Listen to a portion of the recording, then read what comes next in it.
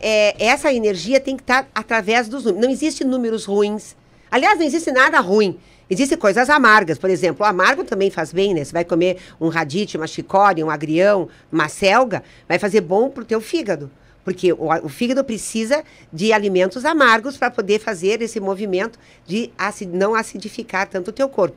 Então não existe, tem coisas que são. Mas tem pessoas que não gostam da coisa amarga. Eu mesmo aprendi a comer coisas amargas quando eu fui morar no Rio Grande do Sul. Até então eu não suportava. Mas a vida me ensinou que o meu corpo precisava. Então a gente tem que ter a total consciência do que realmente nós estamos vindo fazer aqui. É se conhecer. Que daí entra as palavras maravilhosas do Cristo manifestado. Buscai a verdade a verdade vos libertará. Conhece-te a ti mesmo e se liberta. Então a pessoa quer julgar o outro, criticar o outro, falar do outro, mas ela não se vê. Ela não se enxerga, ela não se encaixa. Imagina a pessoa não se encaixar, gente. O que é isso?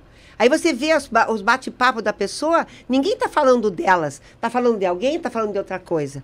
E está fugindo dela. Porque a pessoa não quer daí, nesse momento, se ver.